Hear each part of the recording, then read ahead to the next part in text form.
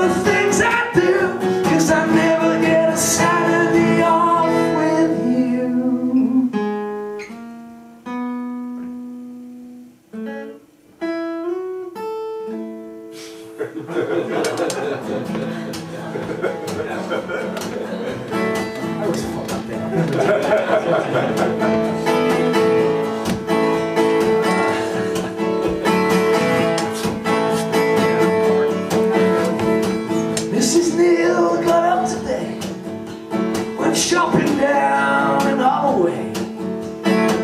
When she found